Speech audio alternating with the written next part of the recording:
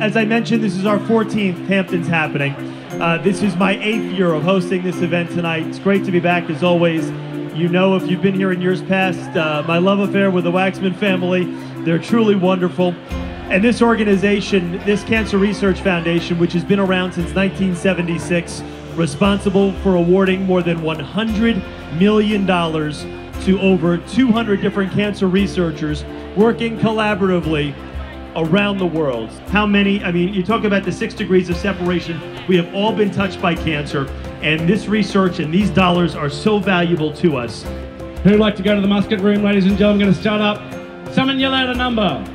1,000. That's a bit even. One bit, one bit, 1,000. Who's got two in the room, ladies and gentlemen? 2,000. Thank you, sir. And a bit two then out. Should be five grand all day. And a bit 2,000. A bit and out 2,000. At five and a bit five and a bit $5,000. Only out 5,000. Second call at $5,000. Is there anybody else in the room? A third and final call. We all done?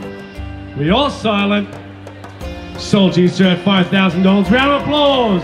We're blessed living longer, and our kids live longer, and our grandkids are predicted to live longer. But if you looked at the data, unfortunately, they have a better chance of getting cancer.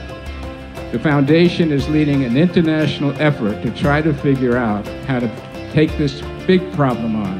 And we've formed partnerships with government here and in China with, with other foundations. And all the money we raise tonight will go into this program to try to answer the question why cancer is a disease of aging and how are we going to find out to solve that problem.